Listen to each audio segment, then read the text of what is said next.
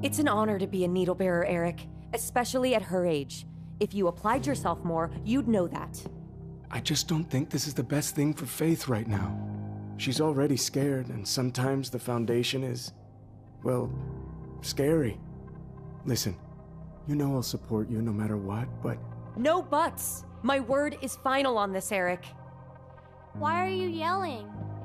Faith, honey, aren't you supposed to be playing in your room? I got bored playing alone. Go back upstairs. Mommy and Daddy are talking. But I want to play hide and seek. I want mommy to play. How about I play with you?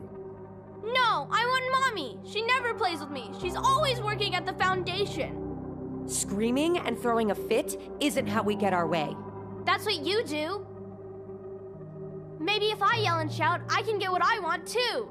Faith? Honey? Play with me! That's it. Go upstairs to your room. You're in timeout, young lady. No! Faith! Say you're sorry. Now! Faith, come back here right now! I'll go get her. No. I'll talk to her. Faith? Are you down here? Are you over here?